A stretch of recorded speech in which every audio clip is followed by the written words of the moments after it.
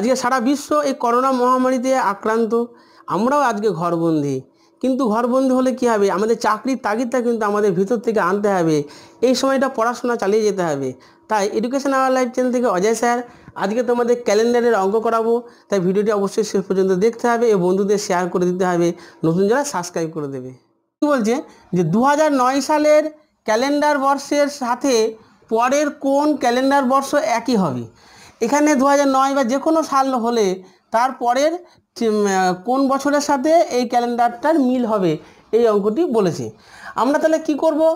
আমরা প্রথমে বলব যে দু আট, অর্থাৎ যে সালটা এখানে দিয়েছে তার আগের সালটা ধরলাম, যেখানে এই আটটা হচ্ছে লিপ ইয়ার। দু হাজার হচ্ছে লিপ ইয়ার। আমরা জানি যে লিপ ইয়ারে অতিরিক্ত দিন দুদিন হয় ও নন লিপ ইয়ার, অর্থাৎ সাধারণ বছরে কিন্তু অতিরিক্ত দিন একদিন হয়।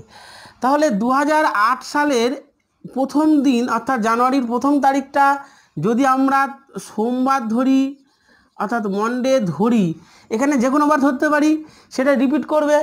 দু হাজার আট সালের প্রথম দিন, অর্থাৎ বছরের প্রথম দিন হচ্ছে সোমবার ধরলে, তাহলে দু হাজার নয়ে প্রথম দিন কত হবে? যেহেতু দু হাজার আটটা হচ্ছে লিপিয়ার তাহলে দুদিন বাড়বে।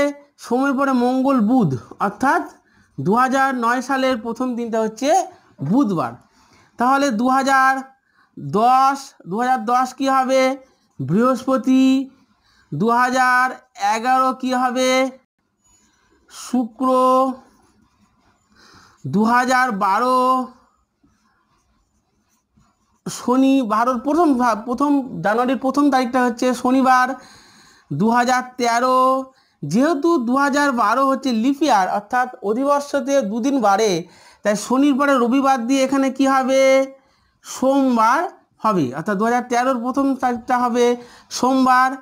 দু হাজার চোদ্দ যেহেতু এটা লিপিয়ার নয়, তাই এটা কি হচ্ছে? এখানে সোমের পরে হচ্ছে মঙ্গল।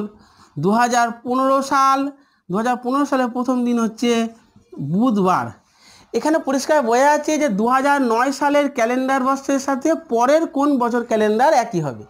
অর্থাৎ জানুয়ারির যে তারিখটি জানুয়ারির প্রথম, অর্থাৎ পয়লা জানুয়ারি যে বার হয়, তার সাথে পরের যে কোনো বছরে যদি পয়লা জানুয়ারির সেম বার মিলে যায়, তাহলে কিন্তু সেইটাই হবে উত্তর। এখানে দেখা যাচ্ছে দু সালের বুধবার হচ্ছে জানুয়ারির প্রথম তারিখ এবং দু হাজার পনেরো সালে জানুয়ারির প্রথম তারিখ হচ্ছে বুধবার। তাহলে আমরা কি বলব উত্তরটা? যে দু সালের ক্যালেন্ডার বর্ষের সাথে পরের কোন ক্যালেন্ডার বর্ষে একই হবে? দু হাজার পনেরো সাল, এটি হবে উত্তর। কোনো একটি মাসের রবিবার ছিল এমন তিনটি তারিখ, যেগুলি ছিল জোর সংখ্যা, ওই মাসের পনেরোতম দিনটি কি বার ছিল? তাহলে এই অঙ্কটি করতে গেলে আমাদের কি করতে হবে? প্রথমে বলছে জোর সংখ্যা, তিনটি রবিবার জোর সংখ্যা। তাহলে জোর সংখ্যা প্রথম জোর সংখ্যা কত? দুই। ও তারপরের জোর সংখ্যা কত? চার। এই দুটি হিসেবে আমরা যদি দিন মাসগুলো, এই সপ্তাহগুলো লিখি, দুইয়ের পরে সপ্তাহ কত? দুইয়ের পরে সাত দিন পরে নয়, নয়ের পরে সাত দিন পরে কত হচ্ছে ষোলো, ষোলোর পরে সাত দিনে তেইশ, ও তেইশের পরে সাত দিনে হচ্ছে তিরিশ। এখানে চারের পরে কত সাত দিনে? এগারো এগারো আর সাথে কত? আঠেরো আঠেরো সাথে কত? পঁচিশ, তারপরে কিন্তু আর আসে বত্রিশ হয়ে যাচ্ছে, এটা কিন্তু হবে না। তাহলে আমরা পরিষ্কার বুঝতে পারছি এই দুই দু তারিখটা যদি রোববার হয়, তাহলে পরপর অর্থাৎ এক সপ্তাহ বাদ দিয়ে এখানে কত? ষোলো ও তিরিশ। তিনটি জোর রবিবার কিন্তু পেয়ে গেলাম। তাহলে দু তারিখ হচ্ছে রবিবার হলে ষোলো তারিখ রোববার, তিরিশ তারিখও কিন্তু রোববার। তাহলে এই সিরিজটা হবে না। অর্থাৎ চার তারিখ হলে মাসটা কভার হয়ে যাচ্ছে। তাহলে বলছে পনেরোতম দিনটি কি বার ছিল তাহলে ষোলোতম দিনটি যদি এখানে রোববার অর্থাৎ সানডে হয়, তাহলে ঠিক আগের দিনটা কত হবে? আগের দিনটা হবে শনিবার। কেন? যে রোববার হচ্ছে ষোলো তারিখ, তাহলে পনেরো তারিখ হচ্ছে উত্তরটা শনিবার।